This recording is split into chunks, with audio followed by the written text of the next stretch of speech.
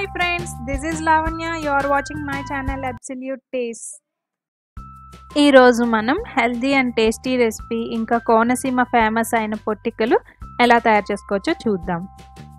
ముందుగా పొట్టికల తయారీకి పనస ఆకులతో బుట్టల్ని తయారు చేసుకోవాలి.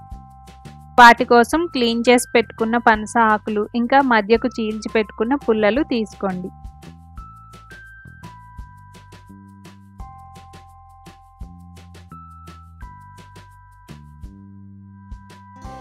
వీడియోలో చూపిస్తున్న విధంగా రెండు ఆకులని తీసుకుని పుల్లలతో రెండింటిని జాయిన్ చేసుకోవాలి.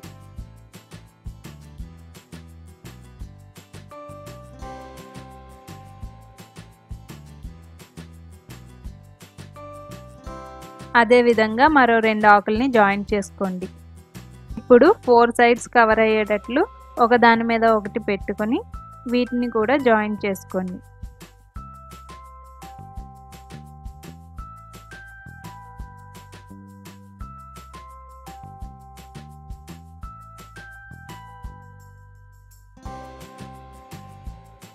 ఇలా జాయింట్ చేసుకున్నాక కార్నర్స్ని కూడా జాయింట్ చేసుకోవాలి.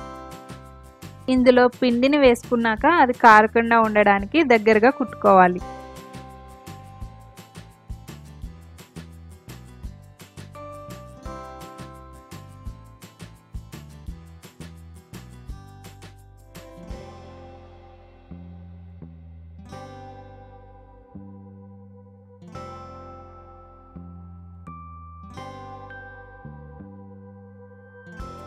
పుల్లల్ని మధ్యలోకి చీల్చుకొని బద్దలాగా తయారు చేసుకోవడం వల్ల ఆకులు జాయిన్ చేసుకునేటప్పుడు చిరిగిపోకుండా చాలా ఈజీగా బుట్టను కుట్టుకోవచ్చండి.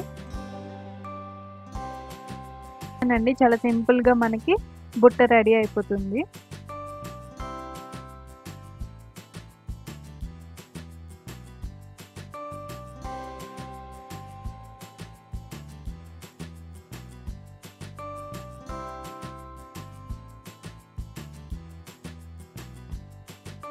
చూడండి ఇక్కడ మనకి బుట్ట రెడీ అయిపోయింది. ఇదే విధంగా మొత్తం అన్ని బుట్టల్ని తయారు చేసుకుని పెట్టుకోండి.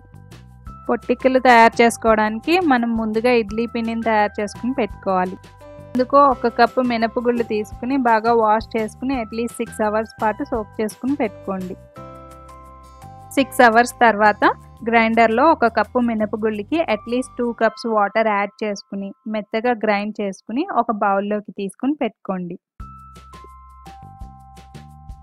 ఇప్పుడు two and half cups idli రవ్వలో కొద్దిగా సాల్ట్ కొద్దిగా కుకింగ్ సోడా వేసుకుని త్రీ ఫోర్ టైమ్స్ వాష్ చేసుకోండి. ఇలా సాల్ట్ ఇంకా సోడా వేసుకుని వాష్ చేసుకోవడం వల్ల ఇడ్లీలు తెల్లగా పువ్వుల్లాగా వస్తాయి. అంతేకాదండి పెస్టిసైడ్స్ పవర్ ఏదైనా ఉంటే కనుక అది కూడా పోతుంది. వాష్ చేసుకున్నాక నూకలోని వాటర్ మొత్తం పిండేసుకుని ముందుగా మనం ప్రిపేర్ చేసుకున్న బ్యాటర్లో కలుపుకొని ఇప్పుడు తగినంత సాల్ట్ కూడా యాడ్ చేసుకుని కలుపుకోండి.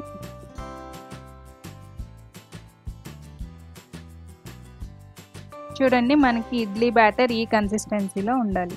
బ్యాటర్ కనుక థిక్గా ఉంటే కనుక వాటర్ని యాడ్ చేసుకోండి కొద్దిగా. ఇక్కడ మనం ఇడ్లీ నూక బదులుగా బియ్యం నూక కూడా వాడుకోవచ్చు. ఇప్పుడు ఈ ఇడ్లీ పిండిని ముందుగా తయారు చేసి పెట్టుకున్న బుట్టల్లో వేసుకోండి. ఇడ్లీలు పొంగుతాయి కనుక బుట్టలో సగానికి ఫిల్ చేసుకోండి. మొత్తం ఫిల్ చేసుకోవద్దు. ఇలా అన్ని బుట్టల్ని ఇడ్లీ బ్యాటర్తో ఫిల్ చేసుకుని ఇడ్లీ పాత్రలో ఒక ట్వంటీ మినిట్స్ పాటు స్టీమ్ కుక్ చేసుకోండి.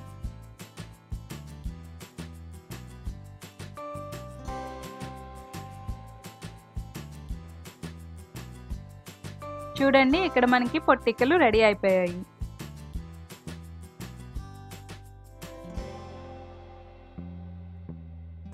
వీటిని బుట్టలోంచి తీసి ప్లేట్లో సర్వ్ చేసుకోండి.